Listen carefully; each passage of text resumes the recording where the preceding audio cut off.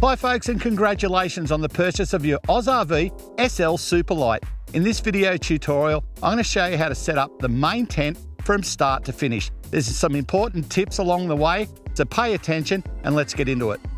The first thing we do when we're going to set up a camper trailer is find a good, level, flat area to set it up. Find your spot and then you need to unhitch the trailer. First, we put the jockey wheel down and take the weight off the hitch so it's easy to uncouple from the car. Also, if there's the slightest lean slope in the ground, always use wheel chocks so that trailer can't roll once you unhitch it. The process is first disconnect your electricals from the vehicle, then disconnect the hitch. The last thing we do is disconnect the chains, just in case when you do release the hitch, the trailer tries to move. Once all that's done, you disconnect, you can move your car out of the way, get the trailer level from front to back using the jockey wheel. So wind it up or down until the trailer sits nice and level.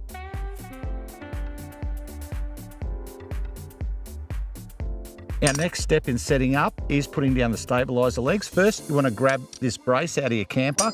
Then, to lower each stabiliser leg, just take a little bit of weight off the end, pull the blue handle out,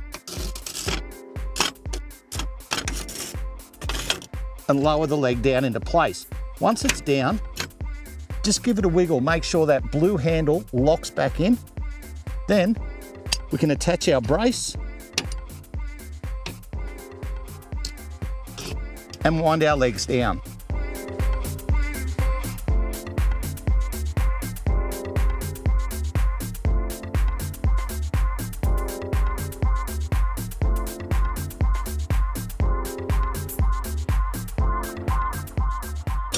Wind them down until they're firm. Don't overwind them and try and lift the whole weight of the camper because inside that stabiliser leg are some small bevel gears and roll pins that secure them that actually act as a shear pin and will break if you overload the stabiliser leg. If you need to get your camper level from left to right, right to left, use some stepped ramps or some blocks and run the low side wheel up onto them.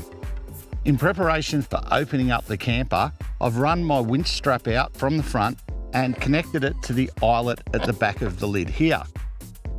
Generally, most people won't have to use the winch to open and close this particular camper. The gas struts are quite strong and the lid isn't that heavy. So an average person of average fitness will be able to do it no problems at all. Two people, absolutely easy as, but not everyone that buys this type of camper has enough upper body strength or is tall enough to do it. So for this purpose, I'm showing you how to do it with the winch. It's nice and easy. Now that I've connected that up, I can go around the camper and undo all the latches.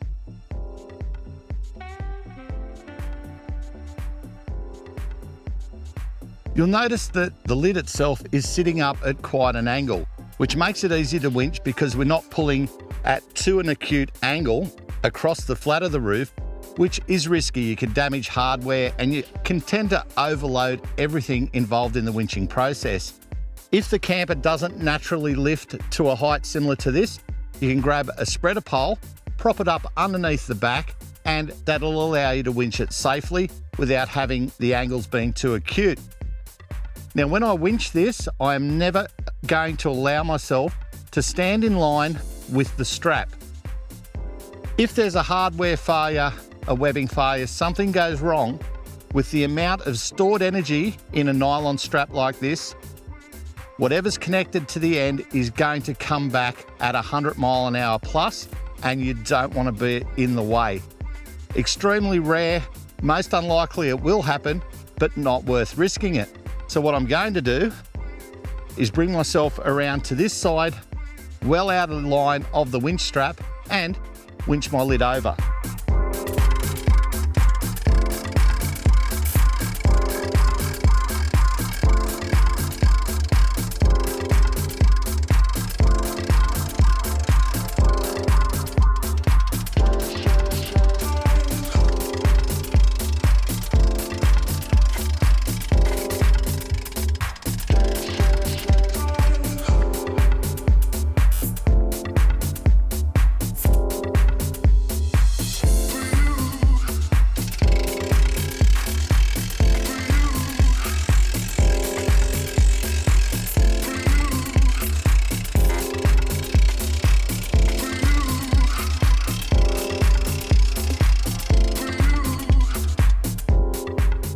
Before I hop inside and start setting up the inside tent, I need to get the rear bow pole up and out of the way. What I normally do is pull all my canvas skirts out, untuck them, get them folded over the side of the camper. That way it doesn't impede anything I do inside while I set up the main pole.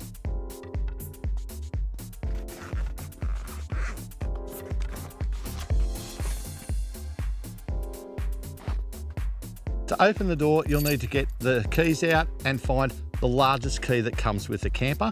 It's got a recessed triangle in the end of it and place that in the lock and turn the locks counterclockwise. That'll release your door and then simply put the step down.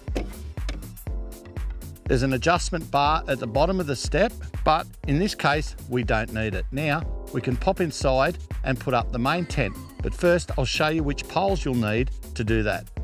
Before we jump in and set up the tent, the first thing you do when you set them up for the first time is release the straps on the tropical roof. Back them off both ends. You don't want the tropical roof to come tight before the inner roof does.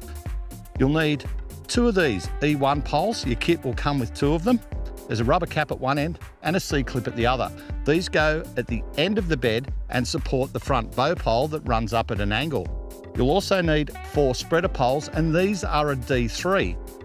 These run between the front bow pole, the centre bow pole and the rear bow pole. There's two in each section, so either side of the camper at the front and either side of the camper at the back. Now we can jump in the camper with our poles and start setting up the main bow pole, which is the center one near the door. That one goes up first, then the front, then we'll put our little support poles up the front and our spreader poles in, then do the back section.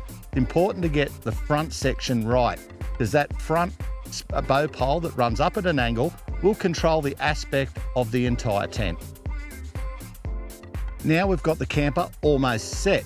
I've not quite adjusted everything up because what I'm going to do is zip up my doors, all my windows, make sure everything's closed, then do my final adjustments on the vertical poles, so the bow poles and the spreader poles, until my tent looks absolutely spot on.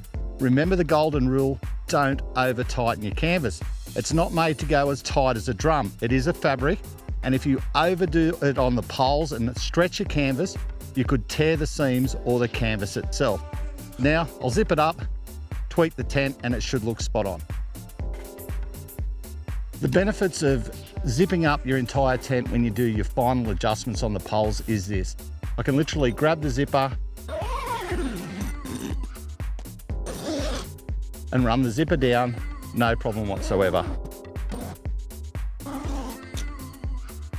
Easy one-handed operation of the zipper, no stress on the zipper, no stress on any of the screens. It's done spot on. And that, folks, is how you set up the main tent on your AusRV SL Superlite. It's easy, remember the golden rules, don't overstress the canvas and zip it up entirely when you're doing your final adjustments.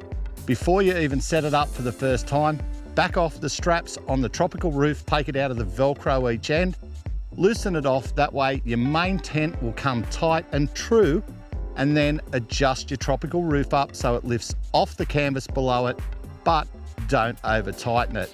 Be sure to check out our other instructional videos on our YouTube channel and get across to our website and download a copy of the owner manual. These videos and our owner manuals are our commitment to you after sale to ensure you get the very best out of your AusRV product.